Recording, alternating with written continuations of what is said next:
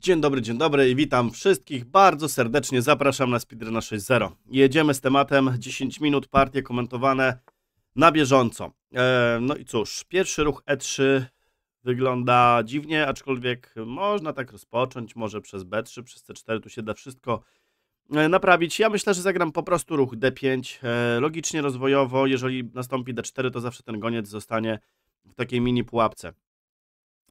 Okej, więc e, w tym wypadku myślę, że naturalnie wyprowadzimy skoczka e, i posunięcie C4 jasne, posunięcie E6, tak żeby zachować dysproporcję struktury pionów po ewentualnym wybiciu i mieć tu otwartą linię. No dobra, kulturalnie chyba goniec E7, chociaż e, taki ruch mnie... Nie, goniec E7, nie będziemy się wygłupiać.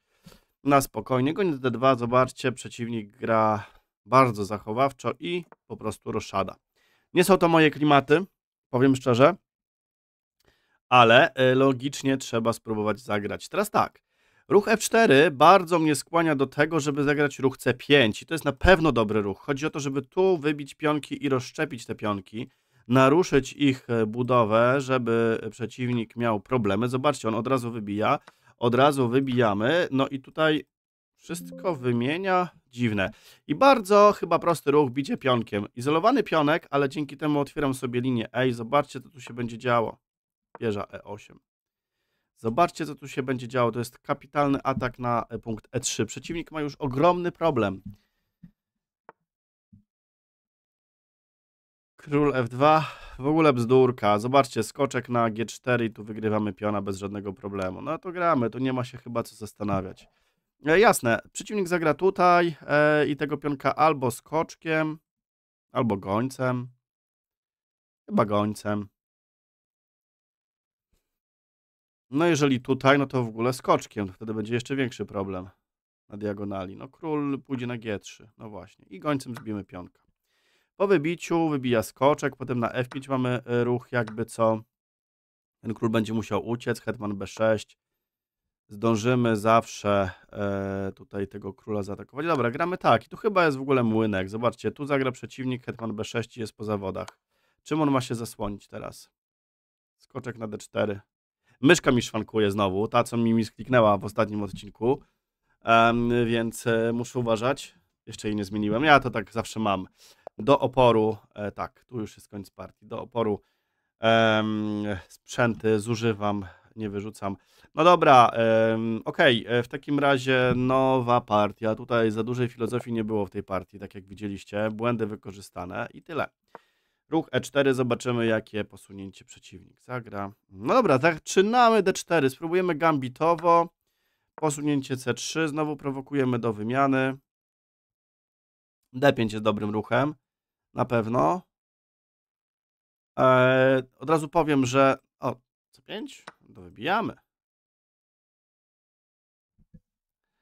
C5 dziwny ruch. No i teraz tak, nie chcę dostać posunięcia D5, więc zagram trochę przewrotnie. Najpierw gońca wyprowadzę, żeby nie było ruchu D5 yy, i potem skoczka na F3. No właśnie, myszka bardzo szwankuje, sorry za te strzałki. I potem skoczka w, te, w tej kolejności. Hetman C7, yy, to ciekawe. Myślę, że subtelnie tak gońcem na B3. Chociaż hetman B3 też był ciekawy ruch. Eee, okej. No dobra, muszę zagrać tu, tego piona zaraz odbić. On będzie go bronił, ale to jest chwilowa obrona. Tu się absolutnie nic nie dzieje złego. Mm, teraz tak. Zastanawiam się, czy tak w ogóle nie działa od razu. Skoczek pójdzie tutaj, więc nie działa. Ale moment. Tak, tak, bicie, bicie, bicie. Hetman, szach i tu. Mogą być ciekawe kwiatki. Spróbujmy. Taki ruch to F4. No i dobra, bijemy. Prze pewnie przeciwnik zaskoczony.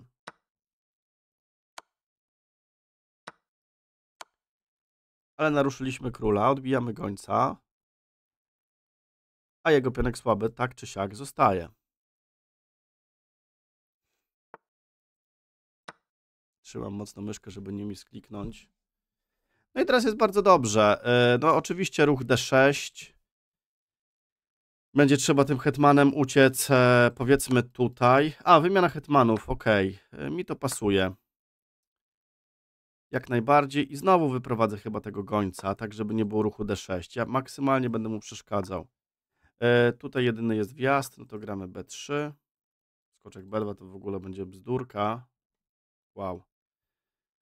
Bzdurka, bzdurek. E, no cóż, e, skoczek jest w pułapce, więc król D2. Wystarczy zagrać królem na C2 i skoczek stąd nie wyjdzie. Zobaczcie, zawodnik 1900 robi tak proste błędy. E, dobra, tu jest jeszcze. Mogę zagrać już tu i zdobyć. Nie, F3, trzeba bronić piona, bo on zbije i gońca będzie atakował.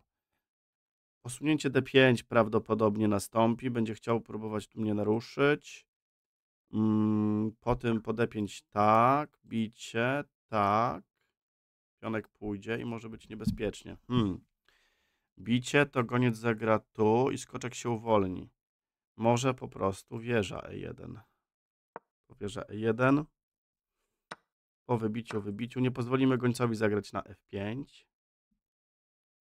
I już nie będzie dwóch pionów z jego strony. No taka dzika pozycja się zrobiła, można powiedzieć, ale mamy skoczka po prostu w zanadrzu.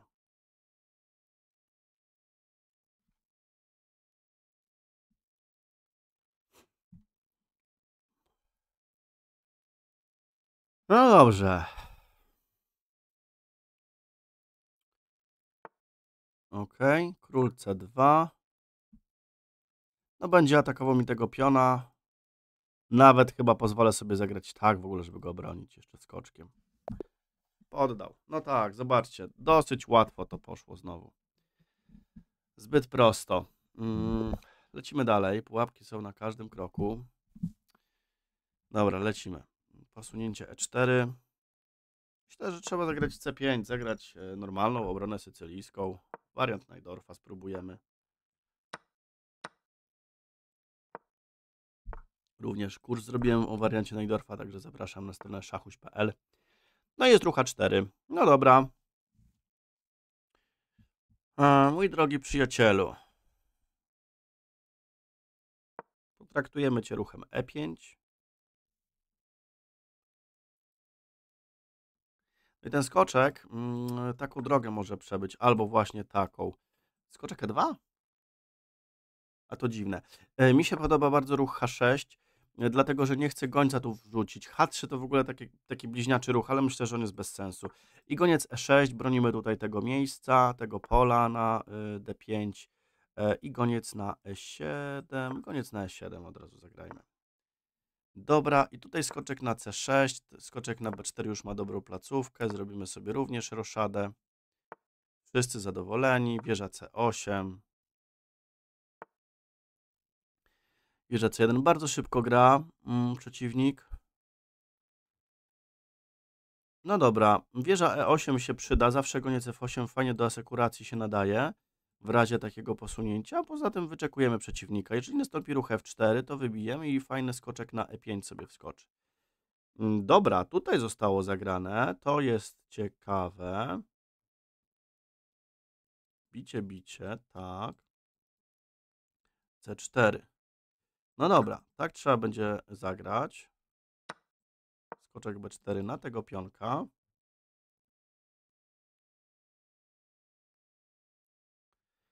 I potem ruch A5, e, skoczka przerzucimy sobie tędy też. E, tu skoczek, tak jak mówię, wejdzie, goniec wróci, tutaj G6 będzie groziło, całkiem ok chyba. No to są już takie moje, powiedzmy, klimaty, mi się to podoba. Aha, C3 będziesz chciał zagrać. No to ma dużo sensu. Dobra, ruch e, A5 konieczny, bo C3 mnie poczęstuje przeciwnik. Więc skoczek będzie miał fajny powrót na A6 i przejście na bardzo ładne pole C5. Mm, no i dobra, wieża 8 się bardzo przyda, bo manewr goniec F8. No obrona sycylijska, szczególnie wariant Najdorfa, nie jest prosty.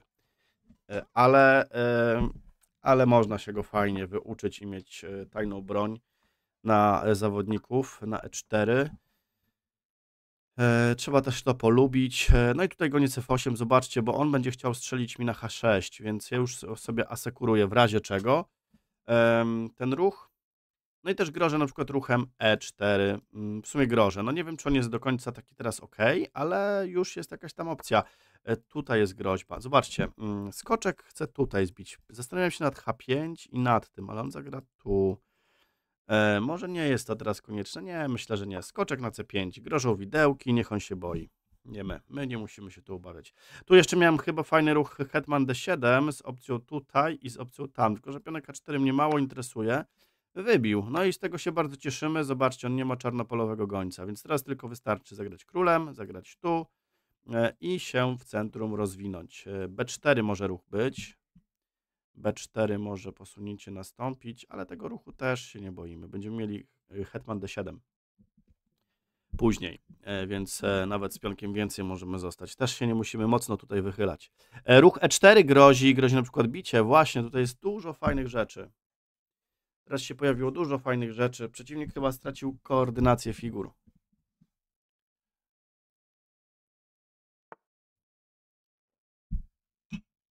Porę, porę się opamiętał.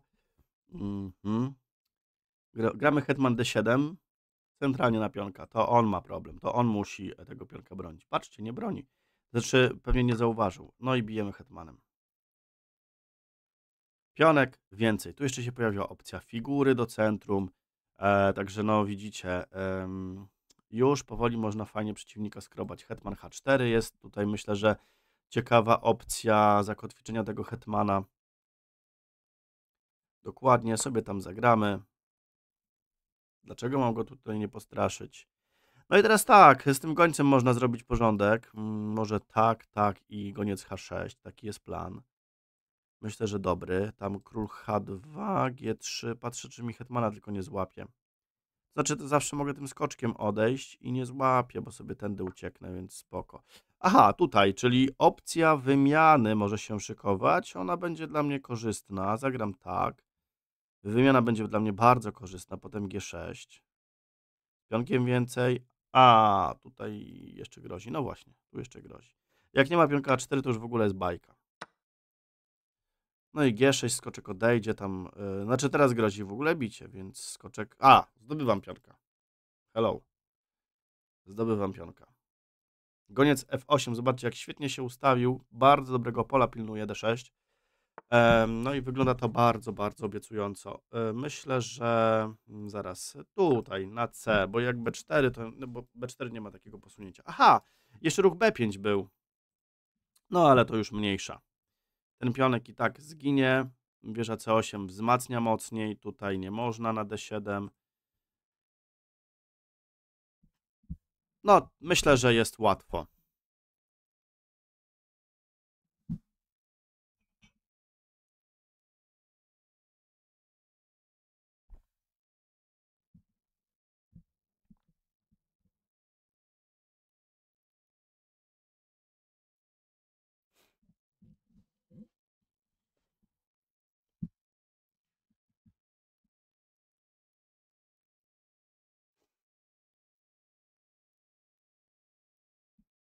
No i cóż, czekamy na rozwój wydarzeń. Bardzo się cieszymy z tej pozycji. Okej. Mogę spokojnie wybić wieżą. On wybije, ja wybiję, on wieża D1, ja będę miał odejście takie. Um, potem tu, potem tu, wszystko powoli. Aha, w ten sposób. Dobra. I myślę, że tutaj bronimy. Yy, bardzo dobre pole na B6 będzie. Jak goniec zagra tu czy tu, to wieża B6. I mamy w zanadrzu ruch e, G6, więc dwa pionki więcej. Tutaj wystarczy też króla e, do góry podciągnąć, ale tutaj się nie musimy absolutnie śpieszyć. Wszystko kontrolujemy. To jest właśnie fajne w szachach, że jak już mamy kontrolę nad przeciwnikiem, no to już jest bajka. Jeszcze musi jakiś hetman D2, no albo coś w tym stylu. Zastanawiam się, czy ten ruch nie jest dobry, żeby otworzyć końca, ale chyba nie. Spróbuję najpierw wypędzić tego skoczka i przestawić końca na E7. Chwila, ten skoczek może też znaleźć dobre pole tutaj, tak się teraz zastanawiam. No dobra, ale to nie ma wyjścia, muszę tak. On przejdzie tu, to i tak y, powierza A6 będę bronił. Aha, tutaj zagrasz końcem. Tu zbijesz i tu. Dobra, mam cię. Pionka nie tracę. Nie tracimy pionka.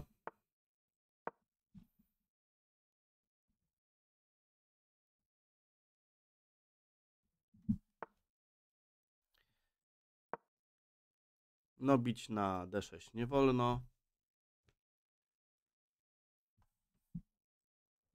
Wprawdzie pojawił się tutaj y, pionek, opcja. Trochę figury się jego rozegrały, ale też będę miał opcję na przykład skoczek D5, jak bierze zagra tutaj. Ten pionek za ten pionek. Pionek A5, y, pionek C3. Sorry za myszkę, kurczę, też dyskomfort lekki czuję. Muszę pora zmienić, bo naprawdę misklik będzie i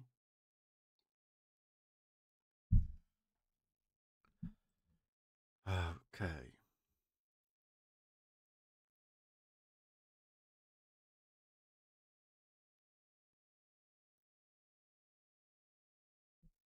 No to jest piękna walka, no słuchajcie, to jest piękna walka w końcówce. Tak jak mówiłem, wieża zagrała na pionkę, więc skoczek wskakuje i atakuje pionka C3. A, i tutaj wiecie co? A nie, tutaj też nie mogłem. Aha, tak gry zagrywasz. No dobra, muszę wybić.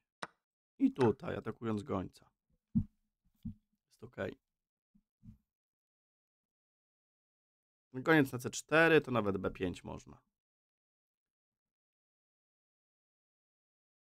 D5 można, wszystko można. Ok. Um, może tak. Jeżeli tutaj, to król podejdzie. Jeżeli tutaj, to myślę, że też do przodu można by było. Królew 8. No, bicie jest oczywiście bzdurą na E7 białymi. Pionek więcej. O, i tak mogę. Goniec już się teraz y, bardziej uaktywnia. Jeżeli tak, to na spokojnie można taki ruch, albo też goniec D6. O! Właśnie, przeoczenie ze strony przeciwnika.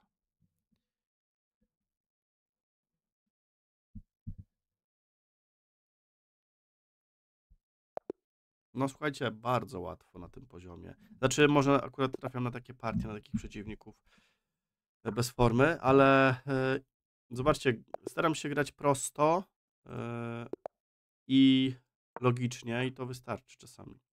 No jeszcze raz gambitowo spróbujemy. Dobra, goniec C4, licząc na to, bo nie chcę dostać D5. F5! Wow! Biję, chętnie.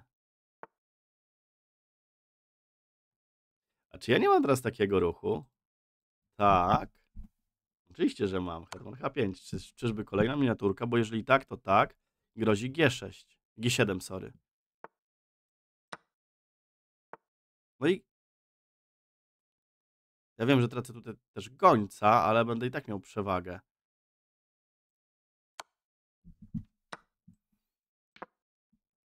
No zbijesz mi gońca, ja wiem. Wiem, troszkę szybko to poszło. Nie chciał. Yy, aha, bo może jeszcze... Co? A, pewnie się bał, że się tutaj wrócę. Zobaczcie, tutaj taki ruch. Znaczy to i tak jest wygrana białych, bo jest przewaga. I tak. To przewaga materialna. I tutaj dużo wymieniam. Znowu łatwo, co nie? No nie wiem, co mam powiedzieć. Zobaczcie, no Gambit wchodzi tak łatwiutko. E4, D4, C3 i ludzie po prostu, e, no zobaczmy. Zobaczmy, czy uda się trzeci raz. No i znowu, cyk. Już mieszamy w głowie przeciwnikowi. No i goniec. No, do końca. Nie, jednak nie. Skoczek. Dobra. Wymieniam. I hetman B3 z atakiem tu i tu. Hetman C8 musi zagrać, dokładnie. Yy, robię roszadę mimo wszystko, chcę oddać pionka. Według mnie chyba powinien go już teraz wziąć. Nie wziął, to odbijamy. Ok, i tak gram, żeby od razu atakować pionka. Dobra, idzie do obrony. I teraz pomyślmy nad E5 yy, albo F4, E5. Cofnęła się figurka. E5 może być ok, tak, tak, tak. Tak, tak. Nie, no chyba F4 y, po ludzku, bo zdążymy zagrać E5. I ja chyba też tutaj. zdecydowanie, nawet nie liczę. Tutaj, tutaj, on tu, dokładnie, rozwalam mu figurę, która broni króla. No i też bije, on może przepchać oczywiście. Być bardzo dzika pozycja. Dokładnie, przepchał. Um... No dobra, niech będzie tak, żeby wprowadzić wieżę, bo też goniec tutaj chce patrzeć. Bardzo zwariowana pozycja, ale o to nam chodziło. Król, o to nam chodziło, król został w centrum. Jest świetnie, on chyba do długiej roszady nie zdąży. Dobra, zagrał goniec i wprowadzam kolejną figurę do gry. Muszę to robić. Po prostu muszę. No, krótka roszada może być bardzo ryzykowna, bo hetman szybko przejdzie tędy, tędy, pionek i mogą być niebezpieczeństwa.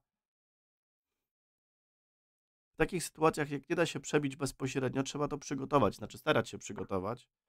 Tak, atakujesz mi na H2, jasne.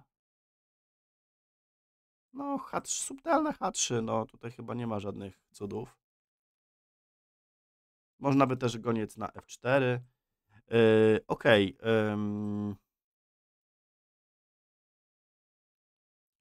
Goniec tutaj się bulkruje. No dobra, spróbujemy go teraz wymienić. Można w sumie było zrobić to od razu. Yy, Może nastąpić szach, rzecz jasna, ale król sobie spokojnie odejdzie. Potem jakieś E5 też można to zostawić, zagrać skoczkiem. Gdzieś tam spróbować wejść do centrum.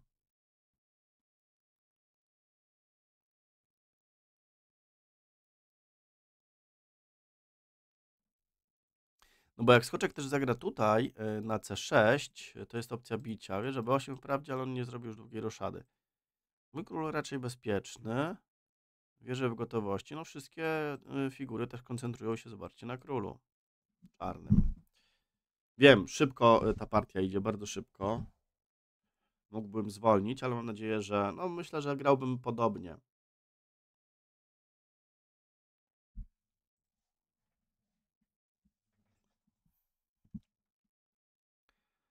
No i cóż, e, bicie, bicie na F4, bicie wieżą, e, bicie na F5. A, no i skoczek D5 mi się bardzo podoba, bo wejście na F6 będzie możliwe. Zobaczcie, trzeci raz ten gambit naprawdę świetnie działa na zawodników 1900. Znaczy, no mówię, to jest mała próbka oczywiście, e, ale, y, ale działa. No tak można chyba powiedzieć, że zadziałało. Dobra, jest bicie, no bić trzeba. Tak, i tu mogę sobie pozwolić na taki ruch. Zdecydowanie sobie mogę pozwolić na taki ruch. Wieża jest nietykalna. Grozi ruch skoczek F6.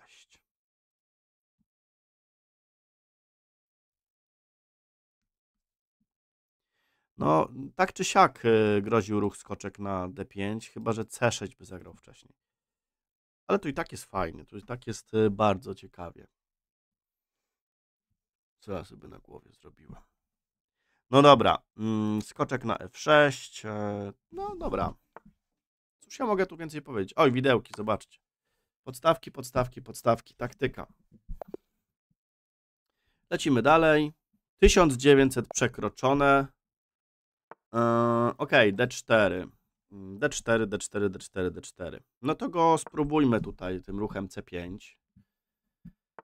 od razu zaskoczyć. No i spróbujmy zaskoczyć przeciwnika ruchem F5. Zobaczymy, jak zareaguje. Już ten gambit grałem. O, jest ruch E4, czyli całkiem chyba sensownie przeciwnik reaguje. Tak, takim, e, można troszkę powiedzieć, kontrgambitem odpowiada. No, skoczek F6 naturalnie jeszcze wychodzi. No jasne, będziesz mi tutaj chciał atakować, pewnie. Ja myślę, że taki ruch może. A może taki. Chodzi o to, że jak goniec zbije, to będę miał odbicie też hetmanem. Taki, taka mała sztuczka.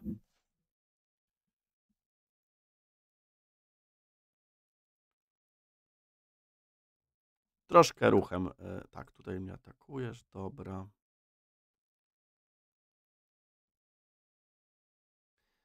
No dobra. ym, Myślę, że tak.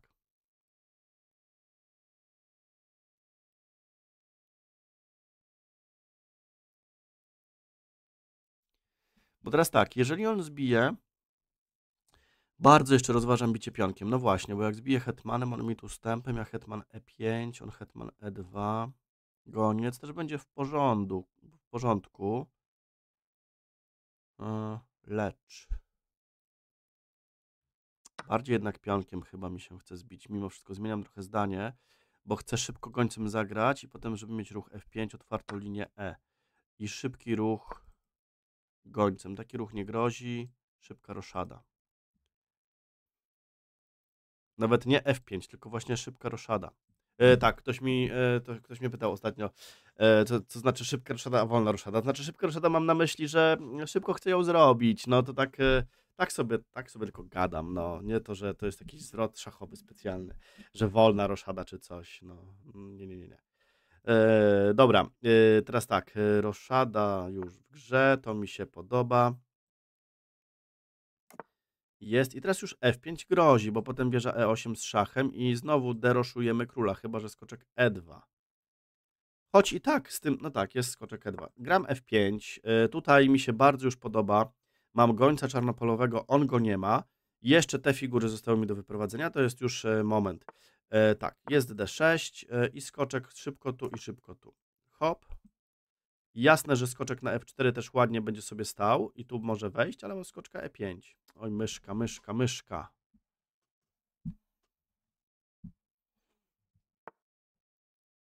No, tam coś próbuje straszyć, jasne. Grozi ruch C4. Chociaż F4 było chyba całkiem sensowne. Opuszczałem wtedy pole E4. Może nie do końca. Hmm. No ale też paraliżowało tego skoczka. Godne do zastanowienia. Hmm. Może ruch A6 tak naprawdę, tak na spokojnie. Nie wpuścić tu żadnej figurki. Skoczek stoi świetnie. Można przestawić hetmana, gońca. Skoczek E6 w sumie. Tak teraz patrzę, że on może być taki całkiem kąśliwy. Ale chyba nie. Tutaj? A dlaczego nie mogę zbić? Oddał mi pionka za, za darmo. Takie prezenty to przyjmujemy. Ok. C4 pójdziesz tu. Wieża E8. Tam F4 może nastąpić. E, I teraz tak, bicie tu, szach i wzięcie pionka. Myślę, że najprostsze. Jeden szach i bicie tutaj. Taki ruch jeszcze masz. Ale to król F7 zawsze będę potem bronił. Wieża E1, król F7.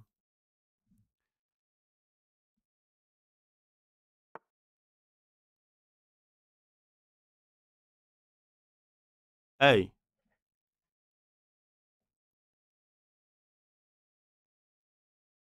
Co ja w ogóle gadam? Robi się lipa. Nie mogę król F7, bo bije, bije i wieża E1. Chwila nieuwagi, zobaczcie. Chyba tu. Hetman musi zbić i chyba tu. Muszę oddać pionka, którego zyskałem. No, e, tutaj mnie po tych e, słabych polach e, pocisnął. On zbije hetmanem, jest hetman B6 z obroną, na szczęście. Nie widzę tu chyba nic e, więcej strasznego w moją stronę.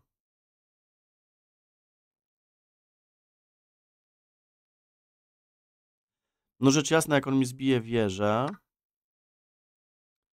też jest sprytne, ale chyba jestem sprytniejszy, bo chyba mogę zbić wieżę, ale hetmanem.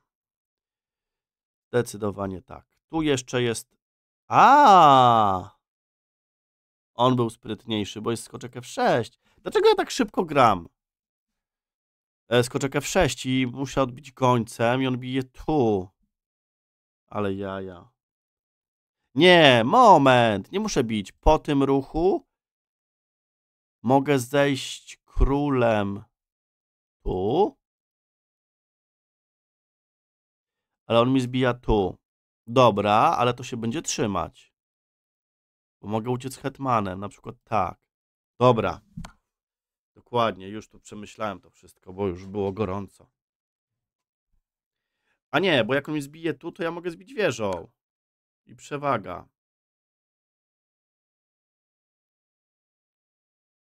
A to teraz mam taki ruch. Bicie tu, bicie tu, ale taktyki się porobiło. Wieża więcej. No i dobra, i trzeba uciec teraz tylko hetmanem.